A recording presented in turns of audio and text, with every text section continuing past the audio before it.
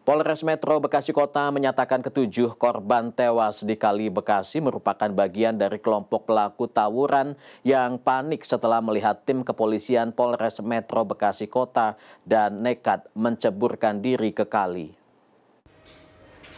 Kasat Reskrim Polres Metro Bekasi Kota Kompol Audi Joizi Oroh mengatakan pada Senin siang ketujuh jenazah yang ditemukan tewas di aliran Kali Bekasi merupakan kelompok pemuda yang diduga akan terlibat aksi tawuran.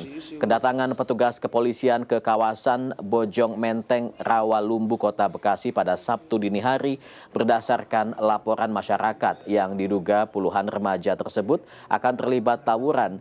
Namun saat petugas datang datang ke lokasi sebanyak 60 remaja yang tengah berpesta minuman keras kocar kacir melarikan diri hingga akhirnya dari sebagian puluhan remaja menyeburkan diri ke Kali Bekasi menghindari kejaran petugas.